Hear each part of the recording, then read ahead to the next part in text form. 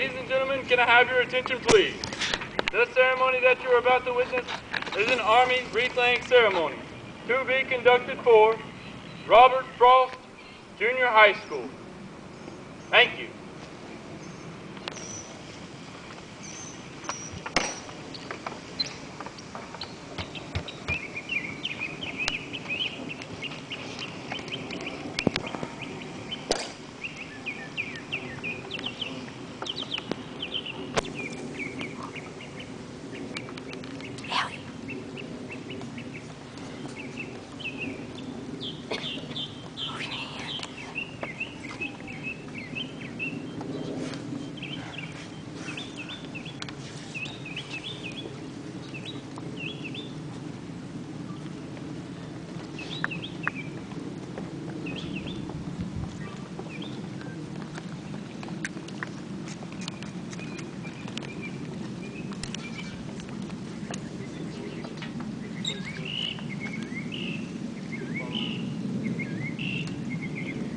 Three, and!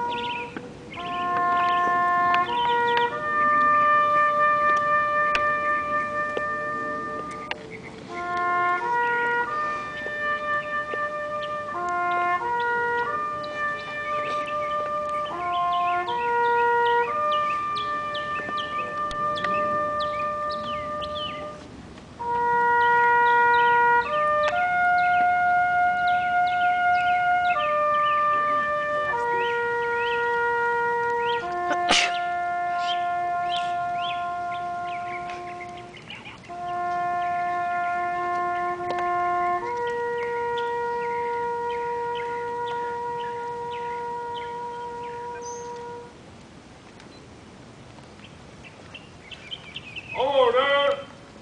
On!